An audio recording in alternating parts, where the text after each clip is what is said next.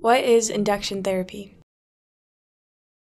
Induction therapy is, is the term that's used for intensive chemotherapy. Um, you may also hear it called 7 plus 3. The standard treatment is cytarabine with a second agent, either daunorubicin or idarubicin, generally speaking. And this is traditional induction chemotherapy that we give to younger patients. Again, for older individuals who can't tolerate this very intensive type chemotherapy, we generally use a hypomethylating agent like decitabine or azacitidine, um, often with, with venetoclax or with another targeted agent.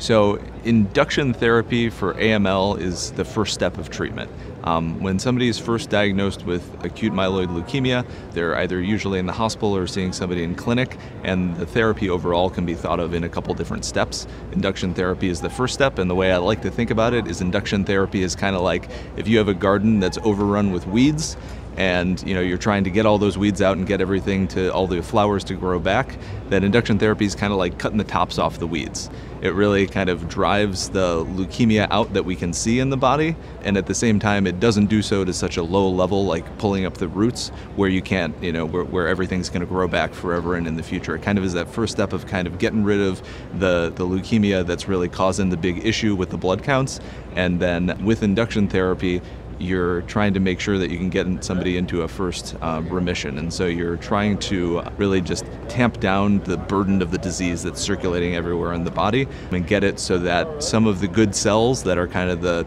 you know, the flowers in the garden, get those to kind of start coming back. And so the whole thing with induction therapy is that we give it over the first several days, depending on what the therapy is, and then the next usually 28 to 40 days are kind of making sure that we are supporting the patient in terms of being able to, to get through it and feel as well as possible in that you know their blood counts are going to go down. That puts them at risk for infection for bleeding and just makes them generally pretty tired. And so um, we'll give induction therapy and then we um, will basically watch the patient daily and make sure that we can give them blood products as necessary, antibiotics, and Tylenol and those kind of things to make sure that they can feel as good as possible um, because you'll get the therapy and then all the counts will go down over the next you know two weeks or so and then um, we kind of wait for them and the, the, flowers to kind of start to come back. And at the end of it, then we do a, um, a biopsy to kind of see if people are in remission and and the, at that time we know that we've cut off those tops of the weeds and that um,